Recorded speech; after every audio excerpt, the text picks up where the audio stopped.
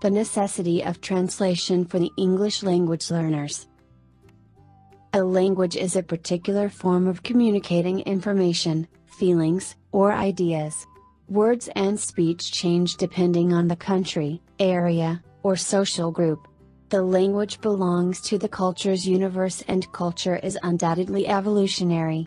So does a language. Thus, when one has to put in touch people with different mother tongue, from different countries, different age, etc., they have to take into consideration they will put in touch different cultures. In order to get this communication successful for teaching or learning a new language, it is important that teachers and students understand what these differences are. Historical features of English. Let's take as an example Hamlet, Shakespeare. When Hamlet is faking madness as part of his strategy, King Claudius, his uncle and stepfather, sends Polonius, a courtier, to check on Hamlet because, as Claudius said, madness and great ones must not unwatched go. In a given moment Polonius asks Hamlet if he knows him and Hamlet says excellent well.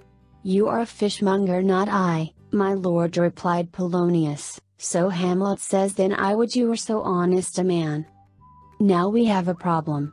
First of all, the word fishmonger means someone whose job is to sell fish but, this word is also slang in the 16th century. It meant a pimp. Therefore, Hamlet is saying that Polonius is a pimp. Probably because he was trying to offer his own daughter Ophelia as barter in a political matter. Second, he is also using an Elizabethan slang that relates the fish and the female. Relates prostitution and the fish smell since in that time the two streets, where was the fish market and where was the prostitution house, were nearby.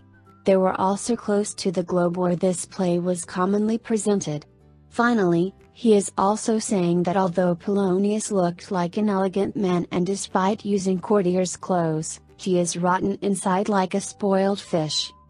Language and context. Now I wonder, how could I explain this word in a more straightforward way? How do I explain the word meaning without going through the whole historical context? Also, how could I translate it to another word which would bear exactly the same meaning? Imagine how many notes must have all of Shakespeare's books translated around the world. Now, imagine the actual play, the word being translated into another language. That would never be accurate. A listener from the 16th century had all these meaning in mind when they hear the word fishmonger in this context, nevertheless, not even a native English speaker have these meaning in mind for this word in this context in the 21st century culture and language change, evolve. Curiously, now we have Shakespeare adapted to English, modern English. Michael Dobson and Estelle Riviere rewrote Shakespeare's plays for and by the contemporary stage. Cambridge, Cambridge Scholars Publishing, 2017, 184p. I heard about it reading about the Festival d'Avignon. Language and Culture Learning languages involves a complex understanding of culture and context. Therefore, in order to learn a language properly, one must also learn the culture. In addition, in what context people would use some specific expressions, vocabulary, or even a specific syntax.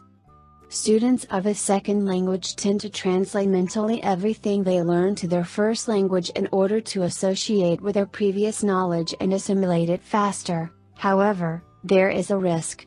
Never in another language, even if you translate the very same word, the word would have the exact same meaning or could be used in the same context. For example, a teacher in Paris could say merde, shit, which is acceptable in France. However, in an English speaking country, it isn't appropriate for a teacher saying shit in the classroom. Therefore, we can translate, but not always it would be accurate. Language and machine translation. Nowadays we have several applications that can translate words, however, we are far away from having a machine which could translate the subjectivity and cultural patterns implicit in languages. Language is able to be communicated to someone else but is not easy to be recognized, In other words, a language is communicable but not identifiable. There is not fully transposition from an encoded language to another encoded language because there is not cultural transposition from one code to another. If one focus on truly understand and learn the different culture, different behavior, customs, etc. accurate foreign language learning and teaching would dramatically increase. Teachers who understand all these difference would not take for granted the knowledge of the students on some very basic things in a lifestyle or in the everyday life of a native English speaker, which might make them more creative whilst teaching and also more empathetic towards the students. Are you ready to teach English with all its cultural aspects? The students must bear this in mind and avoid translate during the process of learning a new language so they can develop a new language rooted in culture and context knowledge, which would make the learning process not only based on objective skills but it would also bring the student confidence to vary diction and it would certainly bring a higher level awareness of the language and higher quality of learning process. Speak with an ITTT advisor today to put together your personal plan for teaching English abroad. Send us an email or call us toll free at 1 800 490 0531 to speak with an ITTT advisor today.